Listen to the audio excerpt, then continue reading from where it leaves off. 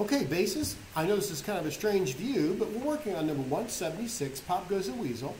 And I've got this view so you can see what my bow is doing because it's a hooked bow. So here we go, ready? One, two, three,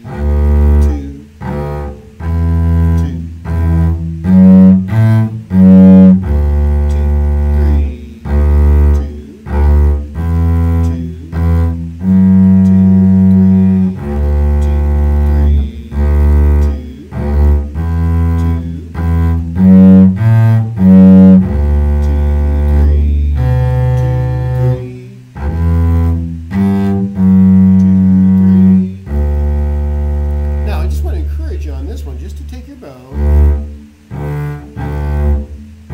just on an open string. Two, two,